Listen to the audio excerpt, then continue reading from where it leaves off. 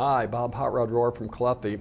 Um, we talked in another video about um, air elimination devices that were manual and flow type. Now I want to talk about um, air separation, and, that's a little bit different. This is typically going to be a device that's going to be located in the mechanical room, near the boiler, near the chiller.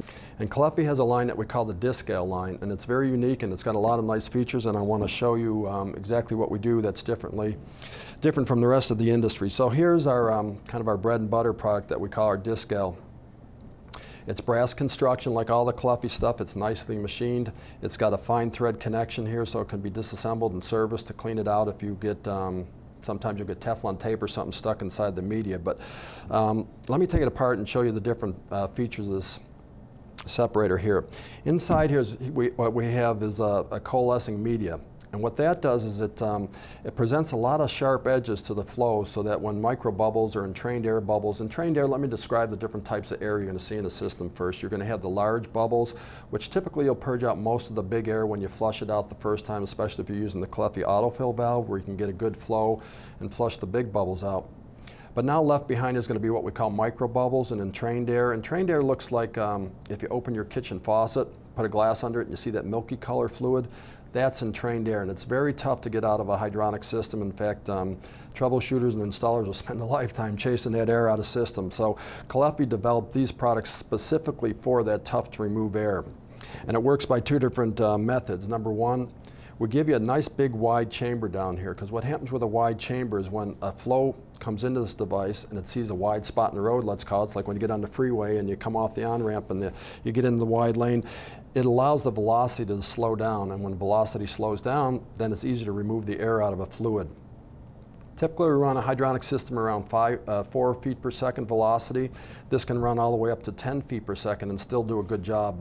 Above 10 per, uh, feet per second, you'll start to get into noise issues, but um, the wide spot is really what allows that to do a good job, and then the median there clings the bubbles. So now what happens is the bubbles uh, cling onto that median there, and the small bubbles form into big bubbles, and as they get more buoyant, they rise up, and then they come out the vent in the top. So moving up to the top.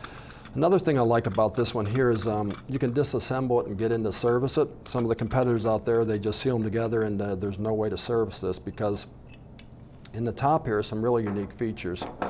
If you can look down inside there, you might notice there's a pin in there. And what we do is we pin the float there's a hole in the center of the float. Now what that does is the float rides up and down on a pin instead of just being on a hinge on the top. And so now when this is assembled, and if somebody puts it into a system and they've got it a little bit off plumb this way or maybe a little bit off plumb that way, that float can still slide up and down. It's not going to rub on the side if it was just hinged. Um, so the pin allows that float to ride up and down. You can disassemble that, so if you do get a speck of a debris, dirt, or maybe shavings, uh, copper shavings, Teflon tape or something, you can get in there, you can actually take this to like a faucet and blow it out and clean it out. So it's very uh, easy to service this. It comes in uh, copper sweat uh, up to two inch and also threaded versions. That's our brass Discal line. Now we um, do offer a couple little accessories for that. Some installers prefer to run the, uh, the discharge tube off to the side, so we do make that little adapter that you can screw a copper um, compression adapter on there and put a little tube, route that down to the floor off to the side. That's one accessory that we offer. Sorry. I like this. This is what I call our Michelin Man. And this is a little uh, preformed insulation jacket that we offer for it now. Just makes it easier so the installation uh, insulation contractor has to, uh, doesn't have to wrap around that. It's three pieces, hinged at the bottom. Put it on there. Has some sticky tape on it. Close it up. Hole in the top offset so you can still have access to your cap. And it just all seals together like that.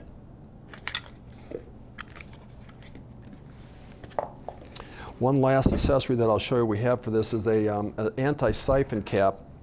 And this is basically a one-way check valve that goes on the top there. You take off the cap that comes on it, you screw that on it, and now that prevents air from getting pulled into the system. Now typically that won't happen if you have somebody that's mispiped their expansion tank to a high head pump. You do have the potential to pull air into it, and we're trying to get air out. We don't want air getting in there. So that's just a little uh, fixer cap that's available for there. We do offer a three-quarter threaded version of this. This is our compact version here. Uh, same technology inside, same vent on the top. Also, unique to the industry is our um, solar version of that. And what we do different with the solar version, it's made out of all high temperature components in here. The float's made out of a different material. We do use a stainless steel media in there instead of the um, composite, so we can run this thing up right on the side there. Says 320F. That's a pretty high temperature. So this is unique in the industry, and the solar guys love this, um, this scrubber here, this air elimination.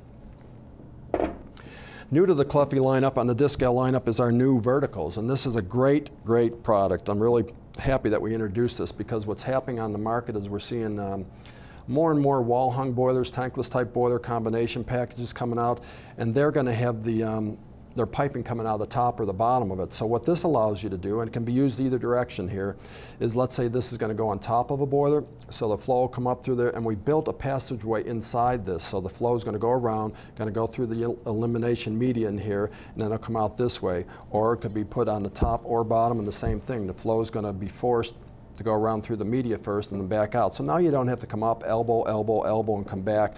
It's a nice, clean looking package and a nice way to um, to use it on a vertically piped system. I want to talk about this other um, way that we've seen for years. We put um, air elimination devices that were uh, called a scoop or a ramp type air elimination device. And I know you've seen them. They're like a cast iron or an iron bodied thing. They're threaded into the systems and they'll have a float vent on the top of it.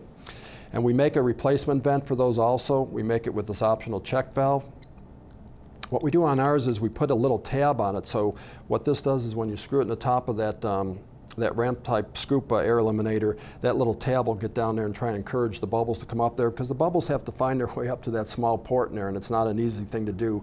We much prefer to uh, put the the separation type of air separation, the Discal device on that. But this is a replacement part for that. What we do with this one, in addition to making the check valve option, is it's disassembled uh, on the top here so you can get in there to clean it out. A lot of the other brands are just crimped together and you can't service them. You have to throw them out all the time. So that is an option if you come across a job that has one of the ramp type scoops in it. All right, let's go over to the big Kahona. This is our uh, steel version of it. It comes in a flange version. Uh, right at two inch sweat is where we cross over. We offer the uh, brass version up to two inch and then we go over to the steel version here and this comes in a flanged uh, configuration.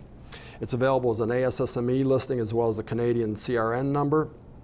Um, steel version, I want to show you some of the unique features on this because we've loaded some great um, components onto this. So on the top end here, we've done the same thing that we've done on our smaller brass Discal version, is we use the same mechanism in there, the same float, the same uh, uh, stainless steel linkage in there, but we've put a much longer um, rod on that float there so it hangs down into the device a little bit further and I'm going to show you why that's important.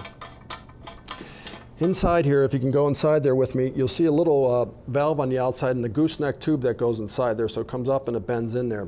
And what this does, this is great. You think about this when you first fill up a system, all the debris that's in the system, and there's going to be debris in there, especially if you're using threaded pipe or you, um, you've soldered or you roll grooved or something like that, that debris is going to float up as you fill it up the first time. Now you're going to be using a Caleffi autofill device, so you're going to fill this up quickly. Well, by having this um, full port ball valve over there, as that fluid comes up in there, that debris is going to float up with it, and now we're going to be able to flush it out the side of this tube with a garden hose, maybe a wash machine hose connected on that. So now we can get that dirt and debris flushed out of there before it has the chance to get up into our float and up into our um, into our air vent mechanism there. And if you'll notice in there, if you can see that, that float is set right about the same level as that, um, that little tube that goes out the side there. So that's one of the unique features that we put on it just to make it easier for the installer, make it easier to um, uh, commission the system first time and get all the dirt and debris out.